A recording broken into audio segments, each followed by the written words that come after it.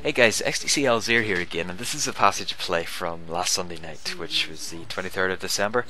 Now I'm playing along with Alex or Automatic Meat again, and because we both had a long journey planned for Christmas Eve, we decided just to tire ourselves out by putting in what was in effect a, an all-night session on Planetside.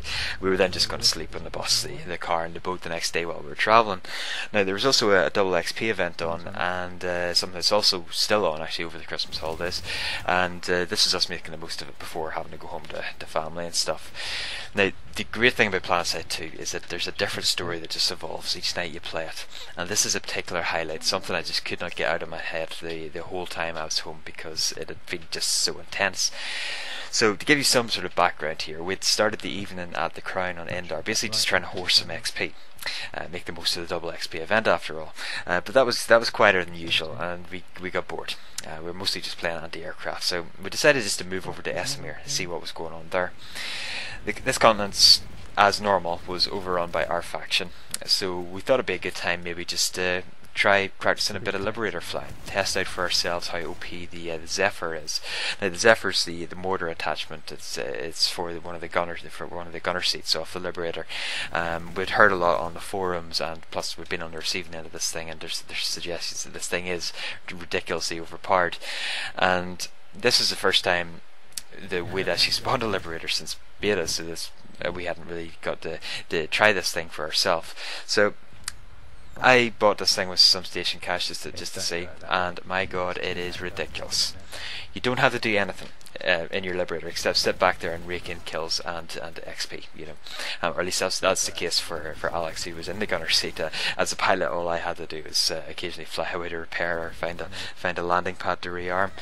But it was actually while we were rearming, um, at this place here, the Freyr Amp Station, we came into one of the landing pads and uh, we decided to investigate um, who was overloading the shield generators, and then we just maybe just defend the base if, if need be. And that, that's basically how we play this game. You know, we just just in a nutshell, we just investigate we things that are out of place, and whether we're going to be outnumbered or not, we'll, we'll just uh, we'll, we'll, just do what we can. You'd be surprised how often that also just leads to, to something epic, like a really good passage to play, as mm-hmm. as it did this uh, this particular evening. So it was clear anyway that once we got on the ground that there was uh, there was quite a number of people on the main flag and they were more likely to be we were up against a squad rather than just a lone wolf.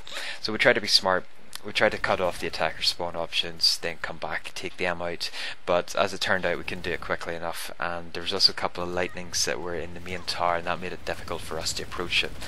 So in the end we couldn't prevent the, the base capture but we saw this coming, we recognised it um, and we realised this was uh, going to leave us with two, uh, two, uh, two choices. We could either hide until this uh, NC squad just wandered off their next target as would be normal behaviour for, uh, for an attacking squad and then we could just simply recap it when there's nobody there, uh, just just in peace. Or alternatively, we could just be a pain in the ass, pick off a few kills while they they went about repairing stuff, which again would be their normal behaviour for for a squad. And we decided just to be a pain. so, given that the opportunities are, we ducked into the main tower uh, via the back entrance here, which you can see me covering here at the moment. And we holed up behind the spawn control unit or the, the SCU. Now, this room's normally protected by a shield, but since the generator was down, we could get in okay, uh, just literally just as the as the flag flipped uh, or the base flipped. Now, we were waiting to see what they would do, but an engy turned up um, at the SCU quite early on, so we shot him and that basically just made up our minds because the NC squad then just came and started descended on us from both sides. We still didn't really have a plan, but we just decided to see how long we could last. And as it turned out, as you can see just here, we're lasting some time. I was covering the back entrance using these stairs here just to minimize my profile, just allowing them just to channel themselves through that corridor um, where it was easy just to take them out. And in the meantime, Alex was uh, mostly covering the other direction, and when need be, he'd come around to support me, plus uh, vice versa.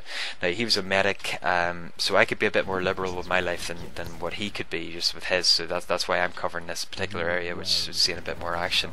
He could revive me, you see, whereas I wouldn't be able to uh, return the favour for him. After that, the main problem we'd run into was ammo. But uh, as it happened, I was still an engineer from flying the Liberator, so uh, I was able to keep us both supplied with ammo while Alex just kept us at full health. It's right about this time that we also realised that we've got some other randoms from our faction are helping us out within the main base compound. So uh, we're we're hearing the occasional shield generator being overloaded. We did see somebody cross my line of uh, line of fire there a moment ago. Who took some of the guys out on either side of this uh, this corridor. Um, we are starting to hear them being saved, the, the generators being saved and repaired as well, and it does co- coincide with a drop in the action that, that uh, is happening around about the SCU. We decide though that us actually holding this room is buying our faction some time, and because without a spawn control unit action, the uh, active, the defense are, are, quite hampered. They don't have a Sunderer or spawn beacon, then they're going to have to walk from one of the satellite bases surrounding the amp station, and that'll take them out of the fight for three or four minutes each time they die. So this is something we suspect has been happening, given that there's been quite a few gaps in the action. Uh, something I've cut from this video, but there there, there are drop-offs a, a couple of minutes at a time, um, where where we've seen nothing. Around about this time though, we're starting to see a bit more. Um, they're starting to set up turrets on either side, and they've got a sniper covering as well, which makes it very difficult for us to approach and get a side-on angle on these turrets. I stick up a turret here myself, uh, just as a distraction, really, so I could peek around the other side. Turns out I wasn't able to, but you know, it's, it's just one of the things you just try whenever you're uh, you, you kind of get stuck. Those, those big bright shields in front of the shields, in front of the turrets, they, they do tend to be um, to force the, the, the other team into shooting them. You know, just uh, it's like a moth to a flame. But um, we're we're quite worried now. Just I mean, what exactly they're doing here because they're they're pinning us now in behind the SCU. Uh, we we don't think that they're actually trying to contain us here. We think this is cover for an impending attack. We're starting to see people. We're, we're still seeing people coming in the back. We're we're still taking damage every time we peek out there. We are still peeking there just to make sure we're not going to get rushed, um, while at the same time somehow surviving anything that comes in at the back. Now we did also see there was a heavy assault guy that uh, just came in there as well. So he uh, he pushes up front. He starts using his rocket launcher to attack the front of those uh, those enemy turrets.